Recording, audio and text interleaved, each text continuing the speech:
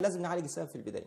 يعني أنا مثلا لقينا مشاكل في الأنيميا بنعالج الأنيميا. لقينا مشاكل في ديدان في الأمعاء بنعالج المشكلة. لقينا في مشاكل آه، في آه، مثلا في إيدز يبقى لازم خلاص نوجهها على الطبيب المختص بالمرض يعالج المرض وبعد كده نبدأ بقى نشوف البروتوكول العلاج الخاص بيه. طيب دي دي ال- العلاجات للنحافه عموما. ولا في علاجات ثانية إذا كان إيه. في أنيميا تعالج الأنيميا. إذا كان في أي مرض إحنا تلجأ ما هو بقى إحنا. عايزين برضو نوجه ال- العلاج آه، آه النحا- نتكلم عن البروتوكول العلاجي. طبعا ما نيجي نتكلم عن البروتوكول العلاجي سواء كان الأسباب دي أو الأسباب دي طبعا لازم نوجه الحالة إن إحنا دلوقتي عايزين نريح الأعصاب.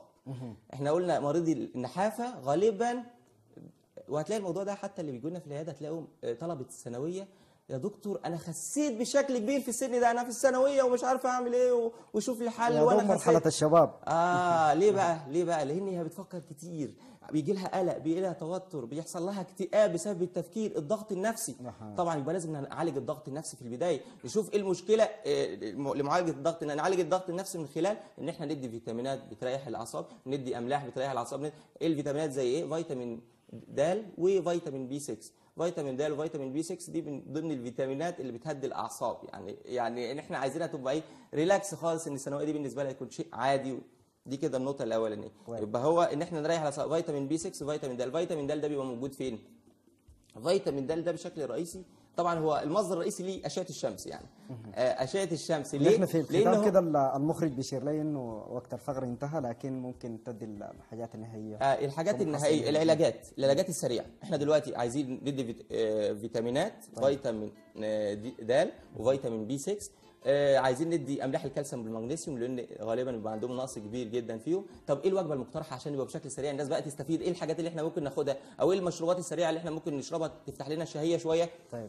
المشروبات السريعة مشروب ال- الكراوية اليانسون البابون الحلبة. ناخدها بعد كل وجبة. نحاول ننوع ما بينهم.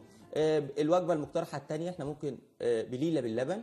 ناخد وجبة بليلة باللبن آه، بعد الوجبات ممكن ناخد آه، لبن ونحط عليه شوية مكسرات ونحط عليه آه، مثلا سبع تمرات.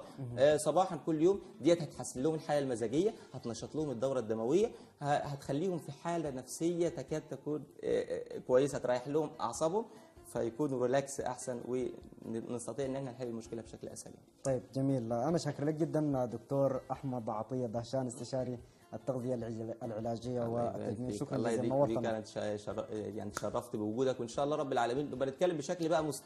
يعني نعمل حلقة كده بشكل خاص عن العلاجات النحافة وإزاي أحسب السعرات الحرارية لنفسي وإزاي إن أنا اعد نظام غذائي لنفسي الحاجات ديت مهم جدا إن إحنا نوعي. الناس. بيها إن شاء الله رب شاء الله. شكراً يبارك فيك. حضورك. شكراً الله. يديك.